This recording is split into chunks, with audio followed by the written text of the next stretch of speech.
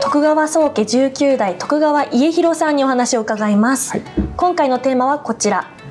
家臣団から家広さんへ素朴な質問のコーナーでございます、はい、このチャンネルのですね制作を慶應義塾放送研究会学生に手伝っていただいているんですけれども今日はそこから西さんに参加していただいております、はい、せっかくの機会ですので大学の先輩でもある家広さんに何でも思ったことを聞いてみていただければと思います、はい、まずは簡単に自己紹介お願いします。はい。慶應義塾大学文学部2年の西彩奈です。よろしくお願いします、はい、お願いします。では早速ですが、はい、何か質問があればはい。お願いします、ね、はい、徳川家徳川家康といえばやはり東照宮が有名ですけれども、はい、いろいろ全国にはい、たくさん東照宮がありますけれどもそれはどういった経緯で作られていったんでしょうか、はい、はい、あの基本的にはあの各大名家うちがこうしてられるのも家康公のおかげという気持ちから、えー、立てておられると私は思っているのです。あの例えば鹿児島の町にもあったんです。今照国神社という神社が鹿児島市の真ん中にあるんですけれどももともとは天台宗のお寺ででその奥の方に東照宮があったんですね、えー、博多にもものすごく立派なのがあったと。ただこの辺はあの倒幕、ま、あの明治維新の時に倒幕側になるわけですが、えー、意外なことにですね戊辰戦争であの最後まで官軍と戦ったあの盛岡藩、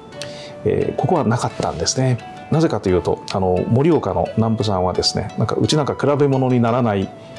ような古くからある名門で、えー、しかもですねあの南部藩からこう弘前藩がこう独立していくわけですね。それを家康公が認めているのででもそんなやつは知らんと南部さんは思って結局東照宮は作らなかったのでございます。滝山寺の隣にある滝山東照宮。昭法3年三代将軍家光公が創建。日光久能山とともに日本三東照宮の一つと言われます。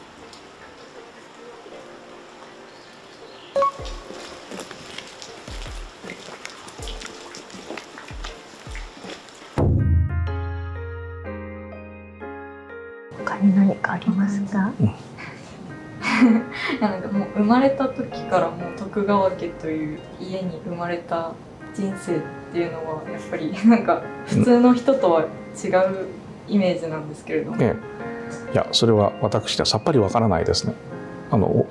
よよよそのお家がよくわからないので、はい、何かしきたりとか、はい、家訓とかあるのかと言われていや全然ないですよそんなの。私なんか放任を超えて放置されて育ったようなものでございます要はですねあの代々伝わっているものは何かあるかその言い伝えとか家康公はこんな人だったとかですね。でもあの歴史の教科書に書いてある通り大体3代ぐらいで耐えて養子が入っていくっていうのでつないでいっているのでずっと伝わってきてることはないのです。えー、あとあのこうやってもう一市民になった後でですね将軍家の時の家訓を一生懸命守ってたらそれただの変な人なんです。はい、ということで普通です普通。はい、個人的に好きな将軍徳川家で一番お好きな将軍、はい、あのー、一番偉かったと思うのはあのー、私たち五代の綱吉将軍なんですね。はい、でそのお話はまた徳川記念財団公式の、えー、令和徳川チャンネルで、えー、できるのではないかと思っております。次はどんなテーマにお答えいただくかというところではございますが、はい、今回はこの辺で終わりにしたいと思います、はい、また次回もどうぞお楽しみに。はい、それではまた、はい、バイバイ